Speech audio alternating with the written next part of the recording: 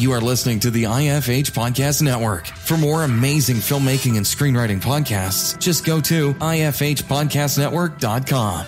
Welcome to the Indie Film Hustle Podcast, episode number 403. Sometimes people don't want to hear the truth because they don't want their illusions destroyed. Nietzsche. Broadcasting from the back alley in Hollywood, it's the Indie Film Hustle Podcast, where we show you how to survive and thrive as an indie filmmaker in the jungles of the film biz. And here's your host, Alex Ferrari. Welcome, welcome to another episode of the Indie Film Hustle Podcast. I am your humble host, Alex Ferrari. Today's show is sponsored by Rise of the Filmtrepreneur, how to turn your independent film into a profitable business. It's harder today than ever before for independent filmmakers to make money with their films. From predatory film distributors ripping them off to huckster film aggregators who prey upon them. The odds are stacked against the indie filmmaker. The old distribution model of making money with your film is broken and there needs to be a change. The future of independent filmmaking is the entrepreneurial filmmaker or the film entrepreneur. In Rise of the Filmtrepreneur, I break down how to actually make money with your film projects and show you how to turn your indie film into a profitable business.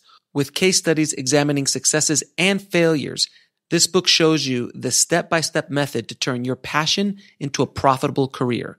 If you're making a feature film, series, or any other kind of video content, the Filmtrepreneur method will set you up for success. The book is available in paperback, ebook, and of course, audiobook.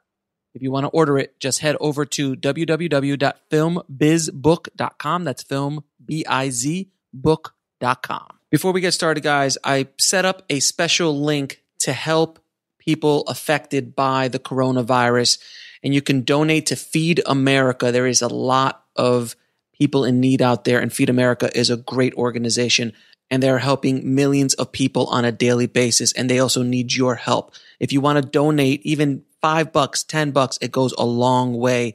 Head over to indiefilmhustle.com forward slash help. Now, guys, today we have a success story. It's a story of TVOD actually working with Amazon and cracking the code of Amazon and making money with an independent film. The filmmaker's name is Ismael Gomez, and his film is called Death of a Fool. And he was able to use $9,000 of Facebook ads to generate $72,000 in sales through TVOD on Amazon.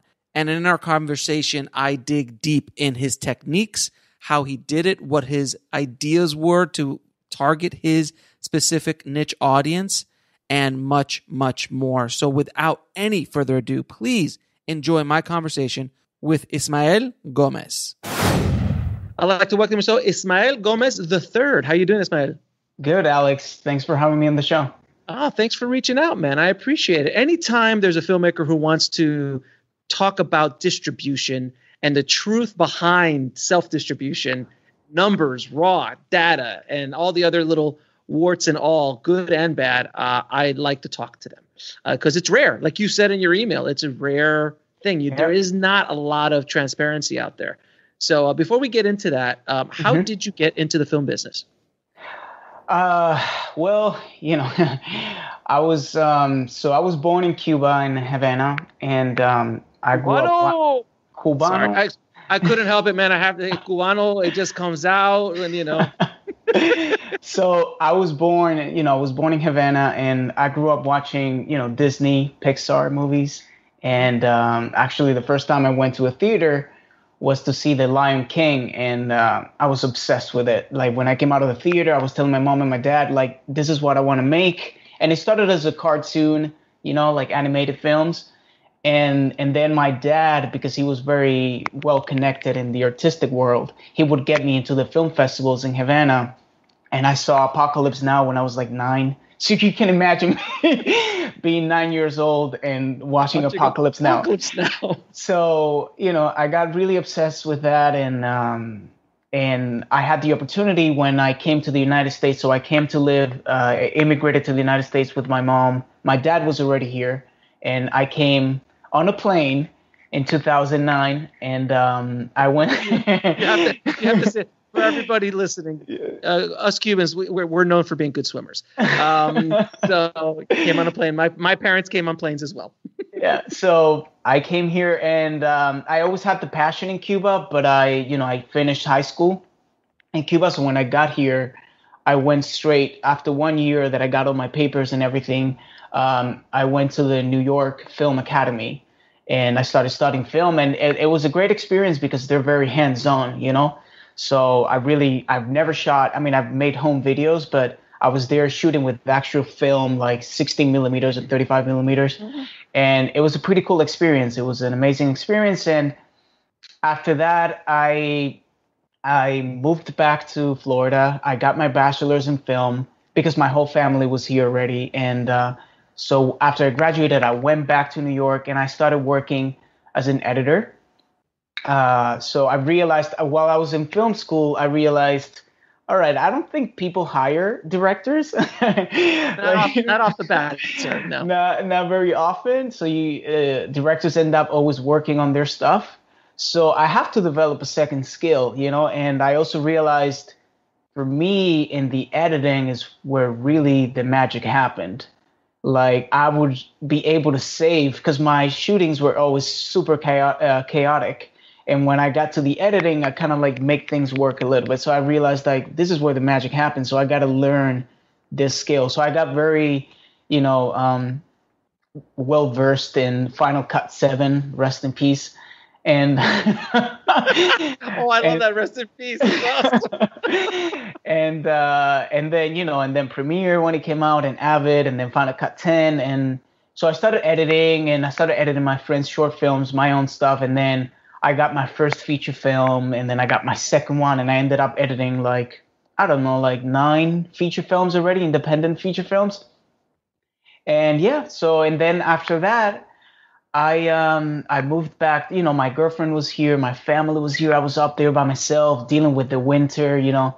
My Caribbean flesh is not used to yeah, that. Was, the Cubans, the Cubans don't they don't like the they don't so, like the winter so much. Couldn't deal with the cold. so I came back here and uh, I had this movie, Death of a Fool, and I had the vision of my company, Rabbit Hole Pictures, and um, at that time, Moonlight came out, and I was like, I saw what Barry Jenkins did in Miami, and it was very inspiring, and I was like, you know, I can, I can do this. I can be, let's say, a big fish in a small pond, right? I can start here, try to make uh, fantasy films, which I don't see actually when I was doing a lot of research when I made Death of a Fool and thinking about other fantasy films shot in Miami and I couldn't like find anything. So I, I got very inspired and I was like, you know what? I'm gonna open the company here.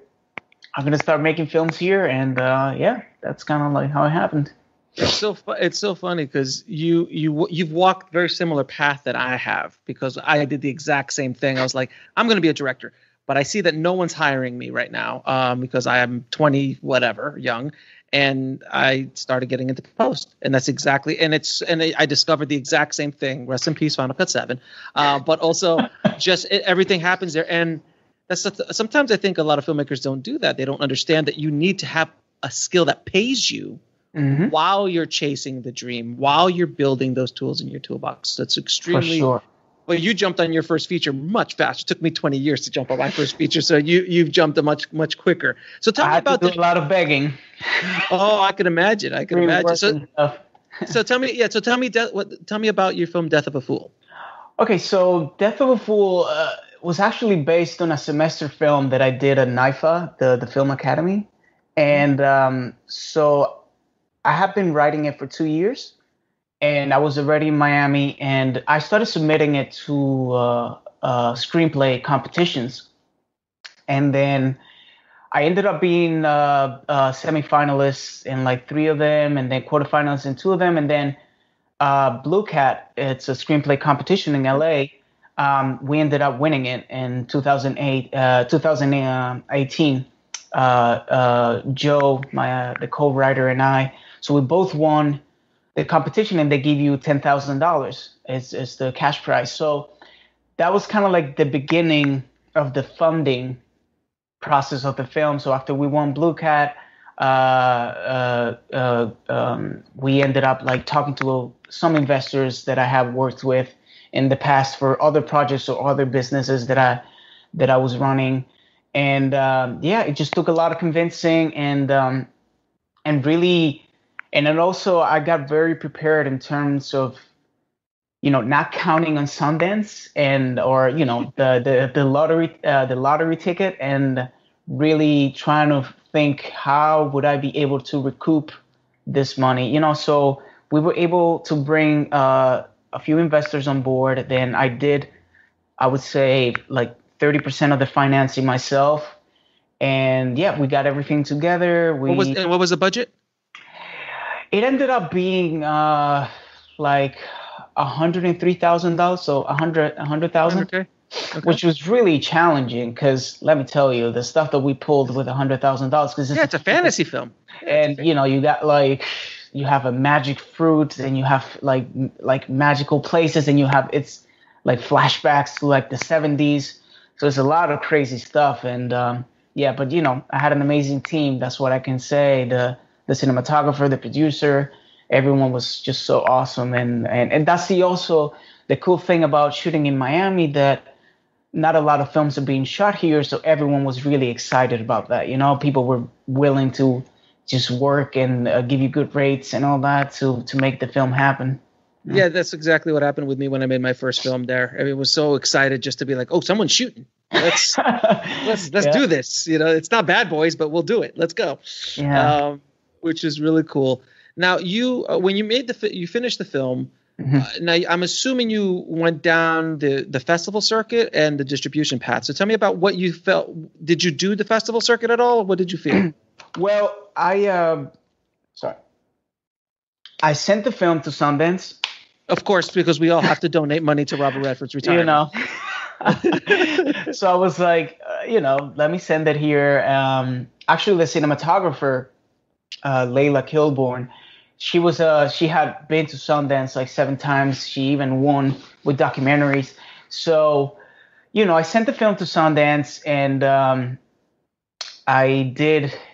Uh, I think Sundance was the film festival because I had just finished it, and I didn't want to send like work in progress to Mhm. film festivals, you know. So I sent it to Sundance, and then you know got the rejection letter, and around the time I had a really tough call. This is the where we get into distribution because then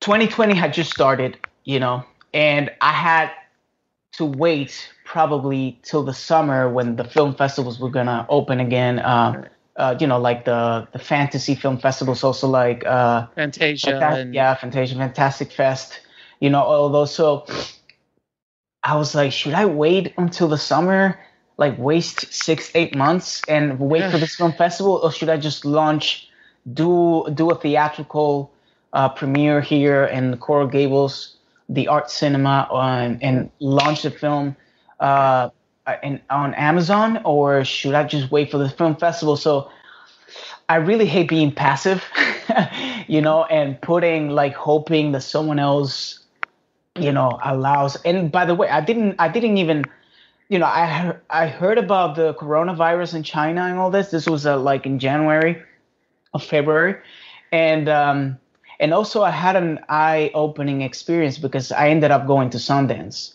uh, with the co-founder of Rabbit Hole Pictures, one of my best friends, Larry uh, I told him, you know, we should go to Sundance, even though we didn't get in. I feel that we hear so much about Sundance, and I've never been to Sundance, so we should go check it out, you know. And for me, when I went there, and the eye-opening experience that I had is that even people that I saw got into Sundance were struggling to get a distribution deal oh, absolutely. and I saw I saw everyone hustling. And I'm like, okay, they made it here and they're still hustling and trying to get a distribution deal and thinking they might get like ripped off. So this is not even a guarantee, you know? So I think I might be better off just distributing the film myself, learning this process, uh, try to do my best and really be self-reliant, you know? So so yeah, so I uh, I made the call and I told you know I spoke to my uh, to the producer of the film, and I told her like I think this is the way to go, and we had the screening here at Coral Gables. We, it was completely sold out, and then two weeks later, because uh, you know it was still hot. And you know, I I, I released the film on on Amazon Video. Yeah. Now, did you, you did you get some uh, deals? Uh, did you get some deals offered to you? Yes, yes. So I spoke to a few. Uh, first of all, I I saw all the episodes um, on Indie Film Hustle about distribution, you know, and I I wrote like I actually have a notepad and I wrote every time that I had an insight or something that I didn't know about, I would write it down and then revisit you know, you were you were prepared. You were locked. You were locked and loaded when these guys came to you. That's awesome. Yeah, yeah. I'm so yeah. So they came. You know, they came trying to bite. Um, a few of them, I, I think, a few of them had good intentions. I would sure. say, but still, I was like, even so though the deals, so what were the kind of deals you were getting? You don't so, have to say names, just kind of deals. Yeah. so uh, with sales agents, you know, I um, a few of them wanting to uh, wanted to charge me, which I thought I don't know if you really think the film has potential and you can make some money. Why would you want to charge me, you know, up front? I, I, but I guess you know they need to keep their business going and all that. But that for me was, uh, you know, a red flag. I didn't want to, even though if you had good intentions, I didn't want to give in to that because it was money that I would use, you know, that I could use in Facebook ads or things like that, you know. Mm-hmm. And with distributors, they a lot of them didn't reply, and the ones that did they had like 15 year, you know, um, 15 year uh, terms contract. Yeah. yeah. and I was 15 years. Like, you're gonna own my movie for 15 years. That's a long time. With no money up front, I'm assuming. With no no minimal guarantee. No nothing. Money. And was there any it, was there any marketing capital or? Oh, no of capital? course, it was like hundred thousand. Like fifty thousand dollars every year. It was every like every year, yeah. and I was like, all right, you're gonna spend fifty thousand dollars on my film every year, I guess. Every year they had that sons of. Yeah, and then and then you could you could you know you could uh I was like, is this negotiable? And then they was said yes, and then okay, and then they would negotiate and bring it down to ten years, and you know twenty thousand dollars and, and but isn't but isn't that but isn't that interesting that they and I've said this a bunch of times that they throw out the worst deal yeah. to see if you bite and if you bite oh good I'm going to screw you now yeah um, and then if you want to negotiate I'm just going to screw you a bit less I'm yeah. still screwing you at the end of the day you're getting screwed yeah it's kind of like they want to they want to stab you right and they first put like a shotgun. And you're like, oh, a shotgun, that's really bad. And then they show you the knife, and it's like, oh, okay, I guess the knife is not I that guess, bad. so, how, would you rather get your head blown off or just a little, a little stab in the back? It's just a little. So, yeah. So and yeah. So, so then, so okay, so none of these, obviously, none of these deals. After listening to everything I've said, you just said no. no. No. If you wouldn't have listened to all these podcasts, you might have been probably yeah probably. That's just, that's that's why I want that information to get out to as many yeah. people as humanly possible, man. It has to. It's, I mean, and it's they're amazing. persuasive. They oh, are. Oh, sure. What did they promise you? They promised you to get you on all the platforms, right? Yeah. Oh, like, I'll get you on all the platforms. Everywhere. I know somebody over at Netflix, so we'll pitch Netflix. Uh, I know somebody over at HBO. Maybe I could get you an HBO deal. I got someone at Showtime. Maybe we could do a pay cable deal. And uh, what what's what's the special placement. We're gonna get you oh, special placement. The special you know, placement, on the top yeah. of the iTunes chart and all those. Because things. if you go with us, like if you go through an aggregator, you're just gonna be thrown in. But if you go with, you get special placement on iTunes, uh, and that whole scenario, it's it's so and it's getting worse. the predatory aspect of distribution is getting worse and worse as everything starts to tighten tighten around. Mm-hmm. So that's why I wanted to bring you on because you're pretty fresh. You're like this is happening within the last three or four months. Yeah, uh, yeah. you were getting these off. And all right, so I. Sorry, and, and even the ones that have good intentions, let's say, they're still a business, you know, and they still need to survive. the old business model. Yeah, it's the and if business. they have ten films and nine of them are performing better than mine, you know, they're gonna they're gonna sell those. They're gonna pay more attention to those nine. And it's not only that; it's also like I always put this analogy that it's a business, right? And if my film is a tangerine, let's say, and people here buy watermelons, they will market my film as a watermelon to people who like watermelons because they have to sell. And I don't want my pe like I want people who like tangerines to see my film. I don't care about people who like watermelons because then that's where the bad reviews come and people. It, I feel that I'm actually you know cheating right? And I'm lying to people because I made you think that this was a watermelon and you came saw my film, paid for it, and now you're feeling happy. You know, and I understand that. So I, I that's that was also for me like I wanted to have full control, you know. I'm I'm a little yeah. bit OCD, so yeah, no, and and and obviously, so so you're telling me that distributors might lie in trailers to get to buy the movie? I can't believe that. That seems so unlike yeah. Hollywood. Uh, um, and that's the other thing that people that, that filmmakers don't understand is when they do sign a deal with a distributor, unless it's in the contract, they have no control of how that movie is presented. Poster design, trailer design. Uh, I mean, it's. I mean, I remember when I had my I had a short compilation, and a distributor picked it up. I was able to get it back from him, but he put on the cover some woman with a gun who had nothing. She wasn't even in the movie. It was. It wasn't even the movie. I was like, what? What is it? What is this? And it's. It's. It is the nature of what they're trying to do. It's the old model of doing things. So it, it's going to be interesting to see how this is all going to keep going. so obviously, you decided that stuff that the the traditional distribution was not going to be your path, and your budget range makes it a good viable option for for self distribution. So tell me your journeys through self distribution and what and what's going how, what happened. So um, you know, I started looking into um, how would I self distribute, like where you know what platform I would use. So you know, there was Vimeo, which obviously has an main uh, like an amazing potential because I think you keep like ninety percent of the revenues. Mm-hmm. And then there was Amazon, and then there was other things like selling from your website, like uh, Gumroad, I think it's called. Mm-hmm, You know, a bunch of those. But for me, just thinking as an audience, like it's better. Like people trust is a big thing, right? So mm-hmm people trust Amazon. People don't trust Vimeo or Gumroad. Not a lot of people, like one percent of the people. So not mo- not movie going people, like people buying online products or courses or things like that. They might want to do Gumroad and Vimeo. The filmmaker will understand who they are, but general public won't. Yeah. So I was like, you know, Amazon is the best deal, and also, you know, even though I could have gone through an aggregator right? Mm-hmm. Um, I think I looked into uh, FilmHub and Bitmax. You know, mm-hmm. I felt like I don't want to sparse like the attention.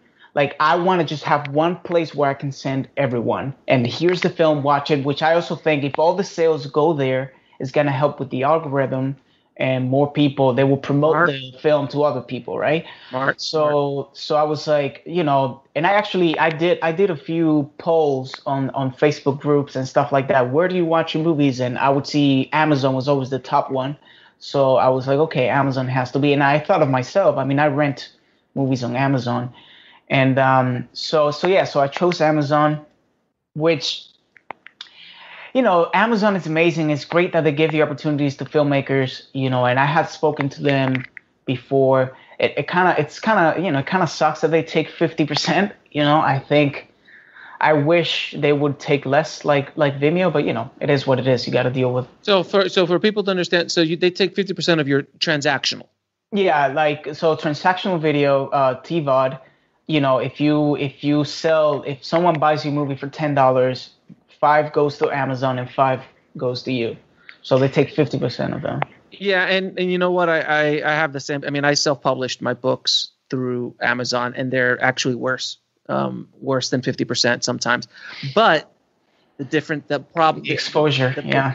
You are the largest marketplace where everybody has their credit card and everyone trusts everything. So a 50 50 split might sound bad, but the amount of a, the amount of access you're getting for that 50% is the only thing that makes sense for that scenario. Yeah. But now if you would have signed a deal with a distributor, then they would have taken a percentage off the so at the end of the day you oh, might even 50%, 10, yeah. now you might even get really 10% if you're what lucky. I'm, what I'm really curious about is like how much like how much Amazon I wonder if Amazon offers that same type of deal to big companies like Disney and and no. Warner Brothers if if they give them 50-50 or if they offer because I feel like you know as a small business as an entrepreneur that's starting they should offer better deals for us than Disney but you know but that's not the way, way, the world works that's not the way the, the game world so that's not the way the world works. But and we could have a whole episode just talking about Amazon and how they treat filmmakers. But at the end of the day, they have opened up a marketplace that filmmakers. So if you like, let's take let's take Amazon off the table. That they shut down and they're like, no more filmmakers. Yeah. That that really that really hurts a lot yeah, of really a, a, lot of businesses. It's so amazing. It, no, I'm really grateful. I think it's amazing.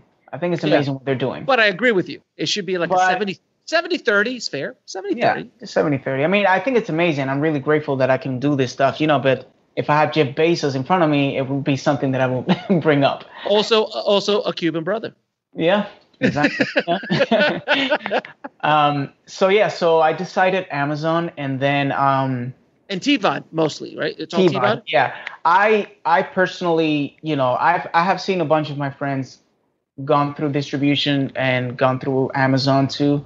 And for me, something that I learned is to not undervalue your art. And this is something that I learned actually in the theatrical screening. So when I had the premiere um, at Coral Gables, we sold out the whole screening, and I actually brought some merchandise. And I remember, you know, it was like this my cousin who's an artist made like this she printed the poster on like this wooden um, kind of like frame and it was really beautiful. Um, and we only made like 20 and i was thinking you know i'm not going to make too many i'm going to sell them for 20 bucks or whatever because you know not a lot of people are going to buy it and stuff. And like we got there we screened the movie and right when people came out it got sold out in like literally in, in one minute. And people wanted like we want more we want more. And i was like oh my god i should have brought this more. Like uh, i should have made more you know? And the the screening was sold out like there were like so let's talk let's talk numbers so let's talk numbers on that screening. So you rented out the theater or was yeah. it a split? I I four walled the screening so i ended oh, up you four walled so what yeah. did it cost? It was like uh, so they do by the hour so it was like 250 an hour and i ended up doing three hours so it was like 750 that's and um, yeah, I did. I did like a Q and A afterwards with the the cast. Um, and how much? And how much did you? And the tickets. The, just all the I, ticket sales. Yeah, so I ended up using Eventbrite. Uh, again, full control. You know, I put the price of the tickets, everything, and between the tickets and the merchandise, I ended up making like uh, 13, 1400 bucks. Okay. So you know, it was a good day. You're, profit. you're, you're in profit. You're in profit. And then how about the merch? How much did the merch take you over the top? Well, that's well, the merch was like uh, the tickets were like eleven hundred, and the merch was like three hundred. So combined, okay. they were like fourteen hundred. You know, it's a good day. Yeah, and I thought of. I mean, I thought like you know I can keep doing theatrical in Florida, South Florida, and maybe you know do like five or ten more of these. You know. Mm-hmm. Um, but then um, I ended up like two weeks after, on February 20th, I launched the film on on Amazon. So the first thing that I did was, oh, oh, so talking about Amazon for me, learning from that experience, I was like, you know, I'm gonna put my film for sale first, so you can only buy it for like only purchase option. And no, I'm no rental, no rental, no rental. purchase just oh, straight purchase because I knew the people that had just seen the movie were going straight to get on TVOD. They were going to rent it. You know, there was a lot of people. I got all their emails that were waiting. So I went straight to TVOD. I think I put like fourteen ninety nine. Uh, was the first price that I did, and um, I put no rentals like the first week, like the first ten days, because I knew it was going to be hot. You know, all those people were going to come and buy the movie. So I did that. I put it for purchase option only. Um, I didn't do any.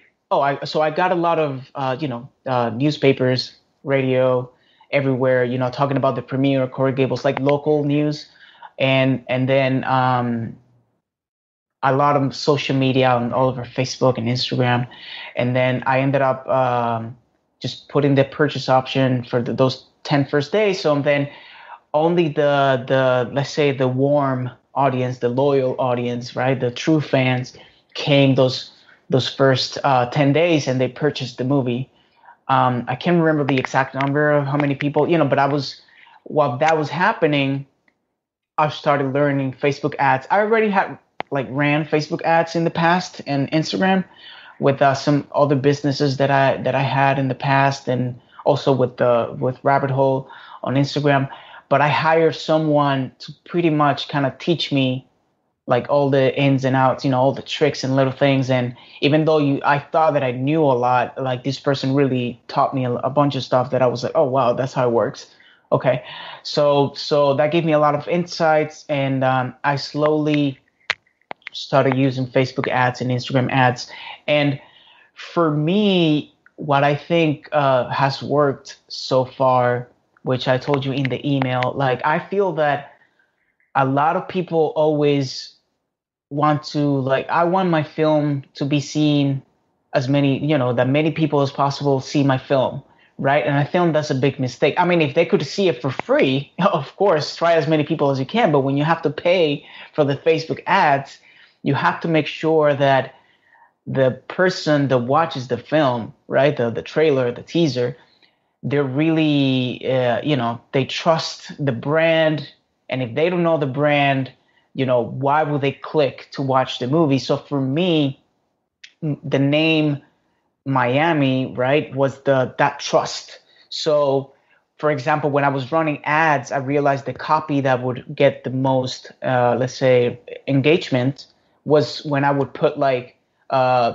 you know, Miami releases a new mystical adventure, a new fantasy film, because I I thought if I put like Rabbit Hole Pictures releases a new, you know, yeah. mystical, they're like, who's Rabbit Hole Pictures? But when you put Miami, people somehow in their heads, that's what I'm, you know, guessing. They're they're guessing like, oh, so Miami, it's kind of like made this film, like the city itself, you know, it's it's made in Miami. So then I only targeted uh, like 25 mile radios, uh, nice. radius in, in, in, in, Miami, and and that started getting you know a lot of uh, attraction, and then you know a lot of experimenting.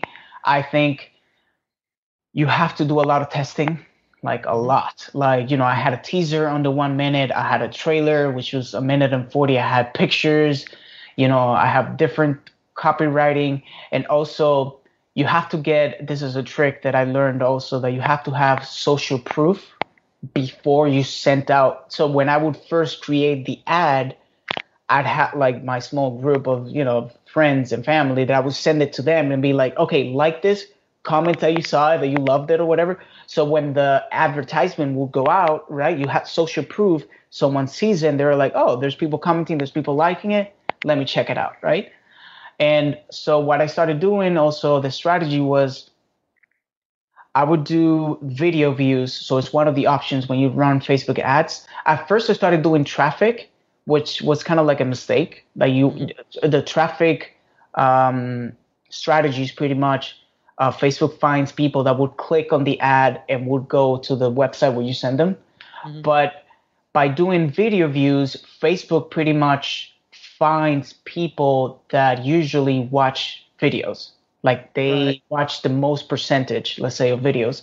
So I started using the video ads and that started getting better results. And people will still click on it and go to the website, right? Mm-hmm. And then I would do video views Monday through Friday. And then right. Saturday and Sunday, I would do a reach strategy, um, Facebook ad which I would say, okay, so from Monday through Friday, I do this video views, and then right. Saturday and Sunday, I create an audience that everyone who watched the video from Monday through Friday, 95% of like people who watched 95% of my videos, mm-hmm. right? I would make that an audience. Facebook would find all those people, create a custom audience, and then on Saturday and Sunday, I would just target those people again, and uh, with a reach uh, strategy and be like, okay, now reach as many people as you can within this parameter that I just put that they're already a warm audience because they saw the teaser and find them and show them again, you know, the trailer. So that would bring that would bring really good but results. you're using but you're using this based off of a fourteen ninety nine price point, not a no no no. When I started, yeah, when when I started doing Facebook ads, I already had the rental option. So okay. I actually brought it down to nine nine ninety nine and and five ninety nine. So I started seeing, you know, uh, what most of the rentals will be on Amazon, and I saw a bunch of like new releases were not uh, five ninety nine uh, for right. rental. Right. So I put it five ninety nine, and actually this was really funny because you have to you have to test things out. You have to just don't be afraid of like sometimes people want to be too like logical and you think of like, oh, my film is an indie film. Who would rent it? Who would pay five ninety nine? Uh, and a lot of people don't know. You know, like normal audiences, they don't know. They just see a uh, they just see a film. If it's a cool trailer, a cool poster, maybe they don't know the actors, but the genre itself, right? Since it's a fantasy right. kind of mystical supernatural film, the genre itself will sell the film. And if they connect with Miami, they will sell it. And actually, I did a crazy thing for for like a week. I didn't make a profit, but I broke even.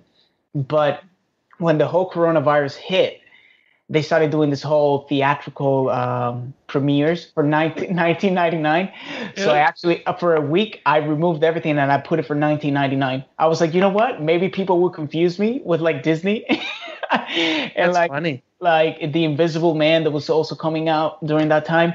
And um and like i don't know like 10 people bought it. Like 10 people bought it. And, and you know it cost me a lot in facebook ads. So i kind of like i ended up breaking even. So I was like, you know, I, I know that I can find more people, but it will cost me more. So let it's me just let me just bring it back to uh, to a, a different price, kind of like what I had it before. But it was it was it was a you know an interesting experience seeing that there would actually someone be willing to pay 19.99 for the film, just like they would pay for any of those big studio films, you know. So Ismael, let me ask you in regards to the Facebook Facebook ads and Instagram ads. A lot of times I found that filmmakers who spend a lot of money on those the ROI doesn't make sense, the return on investment, because they they're either not optimizing properly or their their offer is just too low of price. Like you're talking about 99 cents and 199, 299, 399. You've got to get volume.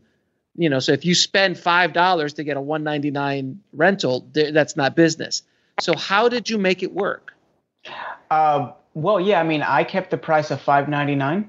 You know, okay. the rental and purchase at 9.99 um, so i knew that every time there would be a sale i would make pretty much three dollars right? So uh, uh, from 5.99 50% so i knew that okay i have to make under um, you know under three dollars. And so i would make sure and this is really hard to what happens with amazon is really hard to track the sales that come from the Facebook ads because Amazon doesn't give you the information, right? Amazon keeps all the data for themselves. Oh, so you have no, so you can't do a Facebook pixel with it. With Amazon, no, you can't because it's it's on the Amazon page, right? Right, and they're so not going to let you pixel that, right? They're not going to let you pixel that, so you could I couldn't do a pixel, so it was. But what happens is that, uh, let's say like people, what I'm guessing, like people a lot of times they try many strategies at the same like what i would do is like i'm going to stick with one strategy one week to see the results of that week right?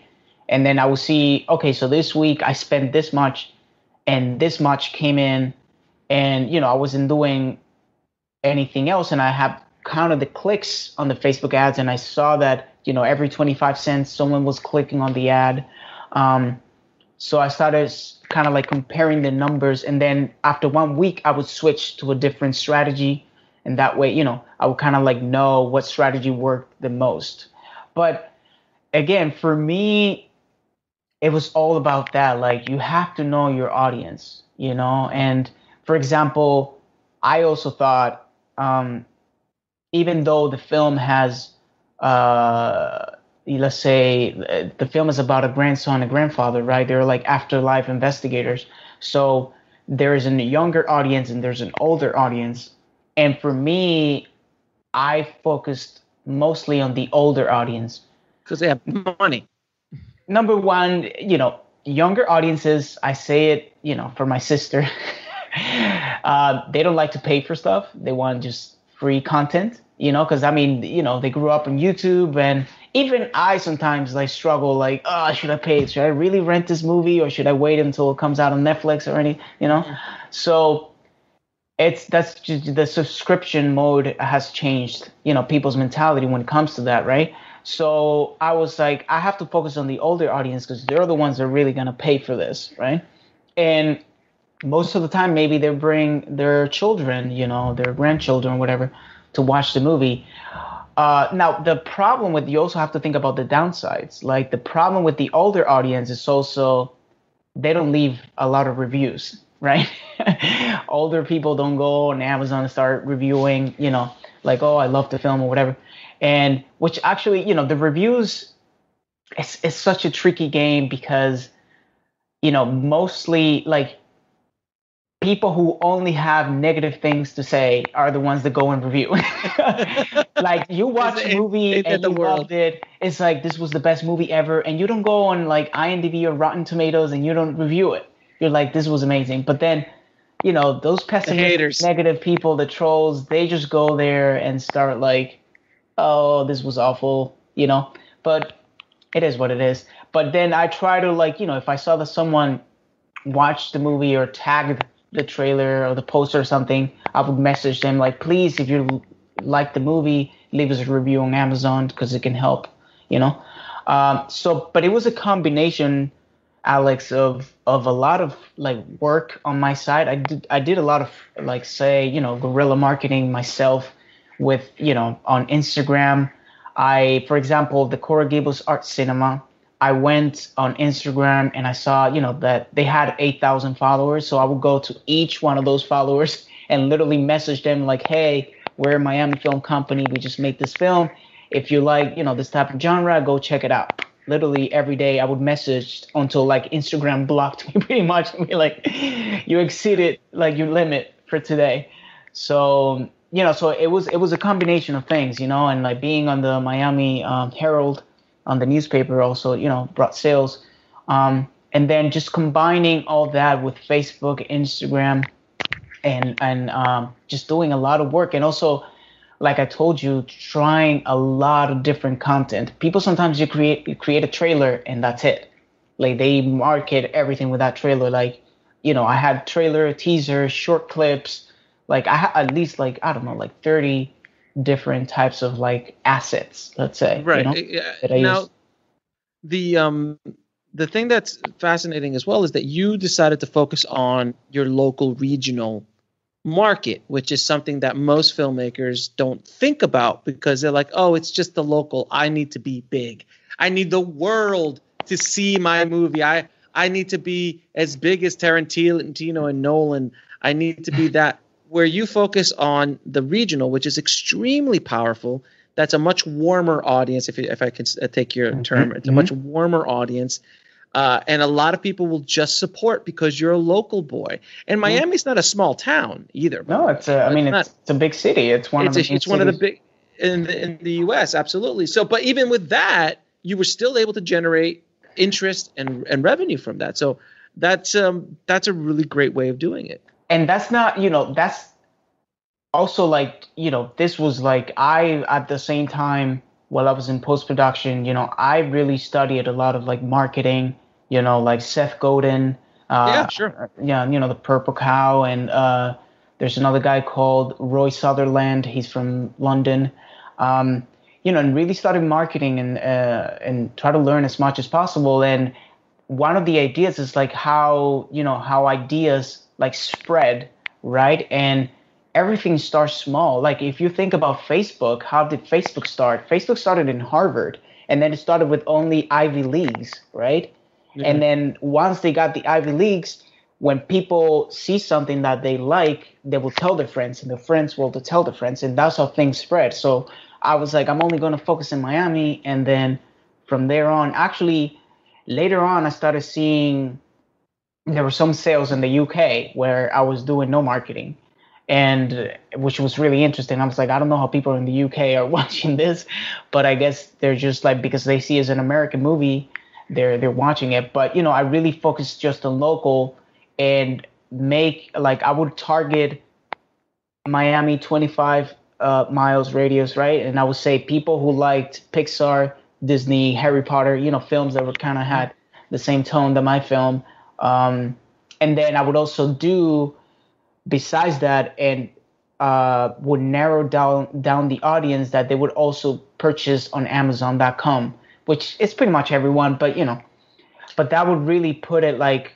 just find those people that have purchased on Amazon, which you know, that like they have Amazon Instant Video, whatever, um, and they like these type of films that are similar. Now, what? Um, so let's get some numbers, if you don't mm-hmm. mind. What are the returns of all of this work, and how much revenue have you generated uh, with off of Amazon? So, um, Amazon uh, has been like uh, thirty six thousand dollars, which that's insane. Which is, I mean, it, when you really think about it, it was seventy two. you know, but they took, and that, so that's thirty six to you. 36 to me, yeah, 36. So you generated 72,000 gross mm-hmm. off of this technique, off of what you're mm-hmm. doing. um, and you're a, and you're a hundred thousand dollar yeah indie with no stars attached and a unique genre being like mm-hmm. fantasy is not you know it's it's it's there's less wa- there's less uh, sharks or less mm-hmm. blood in that water it's a little bit more blue oceany if you will yeah. the fishing's better in, in your area so it's a niche. It's a niche. Mm-hmm. It's a it's a large niche, but it's a niche. So you've been able to generate. And then how much did that cost you? Uh, and then uh, yeah, and then nine thousand dollars in marketing, around nine thousand dollars so far. So That's, the profit ends up being like uh, what twenty seven plus the the what I made in the theatrical premiere. so like 20. I don't know about I don't know about you, but I will spend nine thousand dollars every day to get twenty seven thousand. Oh like yeah, all, all, day. I'll I'll just continue to feed that beast. So yeah. it, it's fascinating. You're one of the few heard of. You're making it work. Now you have a, a very there's a lot of unique elements, like in every project. Like and you mentioned Range 15 in your email. That mm-hmm. was a unique set of circumstances in a unique time period every movie is going to be a little bit different. Like your movie might be hitting at the right time with the right movie. That also helped, you, you know, the I mean the, the whole COVID. situation that everyone was stuck home, you know, stuck at home. And um, looking for new fresh content and then you just happen to be right I got there. fresh content. I also know how to market it because I've done my homework, I've done my research. And I want you I want to I want you to tell all the filmmakers out there, please, because I've been preaching this for the longest time that filmmakers need to understand marketing. They need to educate themselves on the distribution process, the self distribution process, all the non sexy. Because everything you're talking about is not sexy. It's not as sexy as the new Alexa with the new the Cooke lens, yeah, you know, and the, the Technocrane that I'm going to work on, and it's not the sexy stuff. Um, can you please tell the, the audience the value that you have found by doing that deep dive into marketing? Because obviously it's working. Yeah, I mean, I would tell you this. This is how I think about it. If you know how to market, if you know how to distribute, if you know how to sell anything, then you can make anything. Right? It's not like you make something and then like, how am I going to sell this? It's like learn how to sell things. Like I think of like Steve Jobs, which I think is once one of the greatest marketers ever. Right? How he created uh, Apple and all those things, and he would find uh how to like think about it, like how people pay six times more for an iPhone, which is pretty much does the same as a as a, as an Android, you know, an LG. Like it's just not, as pretty. It's, it's just not as pretty, and it's pretty. the brand because he grew the brand sure, and sure, like sure. he connected with a certain type of appeal.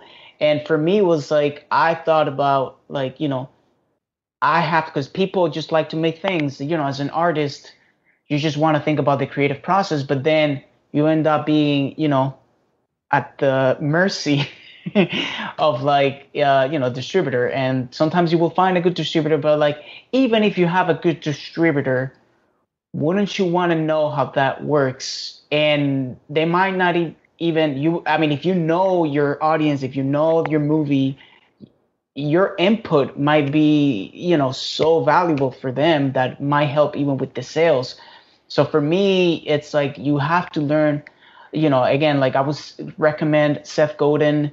Um, oh. every, all his YouTube videos. He also has a course that I took online. It's a, called the seminar, the marketing seminar. Uh, Rory Sutherland yeah. uh, from uh, from Great Britain. You Gary know, v. Like, Gary V. Gary V. It's amazing. Yeah. Uh, you know, he's actually doing uh, tea with Gary V every morning at 9 a.m. I follow him yeah, he's he's pretty cool. He's got a bunch of good stuff, you know. And and yeah, and uh, watch Indie Film Hustle, all the episodes about distribution. You know, try to learn as much as you can because that's the only way that uh, you can be self-reliant and and and not depend again on the lottery ticket of getting into Sundance and and I also thought about that. I was telling Larry, the, my friend, the the co-founder, I, I told him like you know, like I think of Disney, okay, they're huge, they're so successful, but I think of Disney, I think of like, you know, Warner Brothers, they don't go to no film festivals. They don't care about film festivals. They go straight to the audience. Why should we? And I love film festivals, I have nothing against them, right? But you playing by the rules. So why should we be like waiting? I was I will keep submitting to film festival, but we shouldn't be waiting for that to be our strategy. We should be just getting straight to the audience, you know. Mm-hmm. So so yeah. So that's, it, that's it's it's it's it's an inspiring story, brother. I really appreciate it. You've been able to do the numbers that you've talked about which is like no one's getting rich. You're not getting you're not you're not rolling around in it, but it's a, you're building a business. You're no, and I'm paying my investors. That that's the most important thing now that I, I'll be able to pay my investors. You know that I can talk again for my second feature film that I want. To, you know, so it also creates that you know trust, which is really important. And I'm building my audience as well. People who already saw the movie and liked it and you know, uh, uh, saw the company in Miami. So, uh, just thinking, just thinking from listening to your story, I think you could definitely benefit from reading uh, Rise of the Filmtrepreneur. I think your head's going to explode. I'm getting it. I'm getting it for sure. If if I may do a self plug, uh, no, I think there's a lot of. I think you're leaving a lot of money on the table, honestly, uh, with this. But you're doing fantastic. By the way, you're doing better than 99.5% of the filmmakers I talk to. So you're doing extremely well, but I think you could even do uh, you could take it to the next level. But I'm I'm really uh, uh, you know I'm, I'm really excited that you are a good example of what how filmmakers can make money on Amazon during COVID. This is all happening. Mm-hmm. This is all happening to, during COVID. Uh, and what are your plans now? Because you know you did this all TVOD, which is something that unless you know how to drive traffic, TVOD is a, a lost cause unless you can drive tra- traffic and target an audience or have an audience to bring along with you. Yeah, I mean, I'm gonna keep. Uh, you know, sometimes the, the the sales are down, sometimes they go up. It's it's a little bit, you know, but I I'll keep investing a little. I think I may expand now to Florida, try to expand to Orlando, Tampa. You know, um, but yeah, I'm gonna keep in. I actually put, you know, I, I found the right spot. Now I have the movie for two ninety nine and fourteen ninety nine um, because I feel there's a actually I feel that somehow I'm getting sales without marketing sometimes. I think Amazon is promoting the movie itself because sure. you know I brought money for them, so I guess the the algorithm or whatever. Um, but I I would tell this also going back to the whole distributing and stuff like for me I would never put my movie for free. That's mm. just like so you're you know, not going to put it in, in S- SVOD like Amazon Prime? And I see, I would, I would suggest to everyone, put, I mean, put 99 cents. You know, like that's that's an okay price. If you have a movie that, unless, unless you really don't care about recouping your money because it was your own money or something, and you just want to get people to see your film. And in that case, I mean, you know, you can also put it on YouTube, right?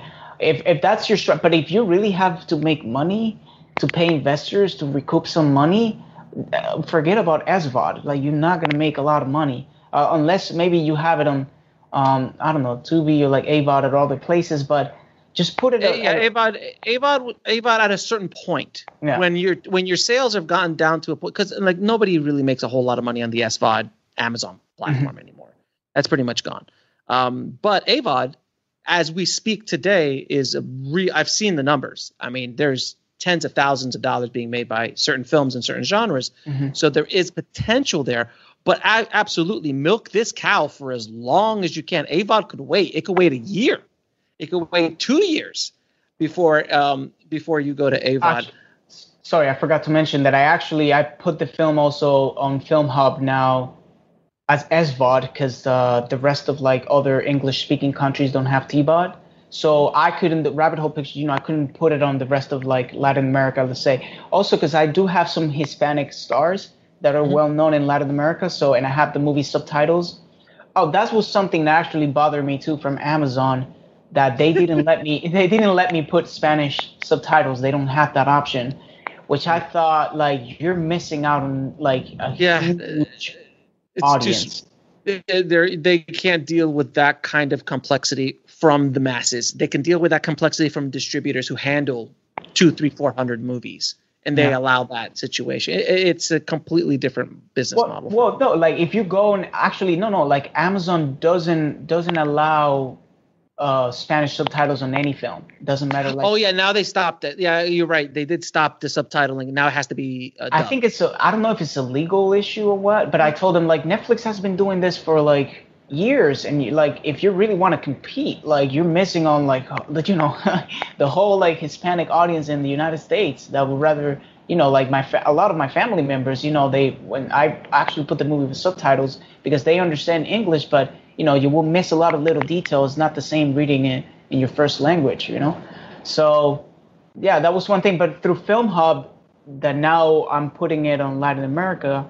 I But have like, you but have you had anything from them yet? Nothing come in yet. uh, no, nothing. It's been recent.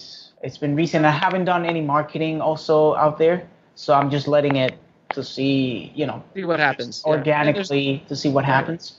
Well, Uh, yeah. Well, l- keep us in, keep us updated on the FilmHub thing. I'm really curious to see. I haven't heard a lot of success stories from FilmHub, meaning that filmmakers actually making a lot of money. So I'm I'm curious to see. Uh, in theory, he sounds great, and the the and the and the the marketplace sounds great, but I'm curious to see real hard numbers Yeah. uh, come in. But man, you're an inspiration, brother. Um, Thank you. Without question. I'm going to ask you a few questions. I ask all my guests. Uh, Mm-hmm. What advice would you give a filmmaker trying to break into the business today? Um, hmm. I would say focus on providing value to others, which is something that, you know, me as a director, when I started, I, a lot of my friends now that work with me had a really hard time working with me because I was sort of a dictator. And uh, it was always like you know i would always think of my movie and this needs to be perfect because it's my film and my name is on it and i'm the director. And then um, th- that would just bring a lot of suffering really because i would be so frustrated and stuff and when i kind of switched their mentality and started thinking about uh, being you know a provider Service. of value of- Service, to yeah. others to the crew i wanted to really try to have everyone in the crew to reach their maximum potential in the cast. I want the actors to do the best performance that they can. I want the DP to have the best images. And I'm just the catalyst for these people to really push them hard so they can get there. You know, and uh, also for the audience that's going to watch my movie, it's not like watch my film. It's like, how can I really make your time worth that you can spend an hour and a half watching my movie and you're going to have a lot of fun so i just kind of like switching that mentality of uh, you know providing value to others and and it really you can tell when you work with someone who's just there for a paycheck you know? Yeah. and i don't i don't like working with those type of people. I feel i can see when there's someone there who obviously i want to pay everyone and i think everyone should get paid but they're there because they care about their craft more than the paycheck you know? So i would say that. Now, and what is the lesson that took you the longest to learn, whether in the film business or in life? uh on on film or uh, or in life? I uh, i would say uh don't take it personal That's it. Don't take don't take film reviews personally. You don't know who that person is. If they like if they like happy endings and you had a sad ending, of course they're gonna hate your movie. You know, uh, they had don't take personal the film rejection uh, the film festival rejections. Maybe they didn't even watch your film. Maybe that person had a bad day. God knows, right? Don't take it personal. It's it doesn't it doesn't say anything about the quality of your craft and or of your film. So that's it, you know. And then, what are three of your favorite films of all time? Uh, that's such a tough question for a Just three, three that come to your head right now. Well, uh, I mean, definitely The Lion King. You know, Uh-huh. um, as a child and in Cuba, I would say I think of films in like different stages of my life. So I would say definitely as a child, The Lion King and uh, The Gold Rush uh, from Chaplin. Yeah. The Gold Rush, yeah, it's it's a fun movie. I, I always loved watching the movie. And now, as a grown up, I think, you know, I've seen brilliant films. Uh, you know, a lot of brilliant films, but I feel that films that let's say that I really saw and were like really changed my perspective on what a movie could be. That I was like, I've never seen anything like this. Uh, I would say The Tree of Life from Terrence Malick mm-hmm. and uh, Synecdoche, New York from Charlie Kaufman, mm-hmm. which is which is really funny because I see Kaufman, which I think, in it's my opinion, is he's the most original writer and creator like in, in Hollywood when it comes to film. I think his stories are the most original, and I see him struggling to make films to get financing, and I'm like, I mean, if Kaufman is like going through this, I'm okay, you know? Yeah, yeah, it's fine. Exactly. Now, where can people find you, uh, your movie, and your work? Well, the movie's on Amazon, you know, uh, on Amazon Video, and uh, they can find us on, you know, Rabbit Hole Pictures on Instagram, uh, rabbitholepictures.com, uh, Rabbit Hole Pictures on Facebook, everywhere, Rabbit Hole Pictures. yeah. Ismael, thank you so much for being on the show, brother. you you're an inspiration. I'm glad to highlight a success story, you know, on Amazon and today's world and TVOD and everything else. So thank you so much uh, for coming on and, and being so raw and honest with your with your numbers and your experience, man. Thank you, brother. Thank you, Alex. I hope this really helps a lot of filmmakers out there, and uh, you know, keep hustling you could hear at the end that we finished that interview with a thunderous applause by nature in the background. That lightning strike happened in those wonderful Miami thunderstorms that I remember oh so well. I want to thank Ismael for coming on the show and dropping those knowledge bombs on the tribe and inspiring filmmakers that you can make money on Amazon and you can make money on TVOD, but it takes work and you really need to understand what you're doing. And Ismael is an amazing example of that. If you want to get links to anything we talked about in this episode, including watching his film, Death of a Fool, please head over to the show notes at indiefilmhustle.com forward slash 403. And thank you all for signing up for my new podcast, Inside the Screenwriter's Mind, a screenwriting archive of the best of the IFH Podcast Network. If you want to check it out and you've not signed up yet for it or subscribed for it yet, head over to screenwritersmind.com. Thank you again for listening, guys. As always, keep that hustle going, keep that dream alive, stay safe out there, and I'll talk to you soon.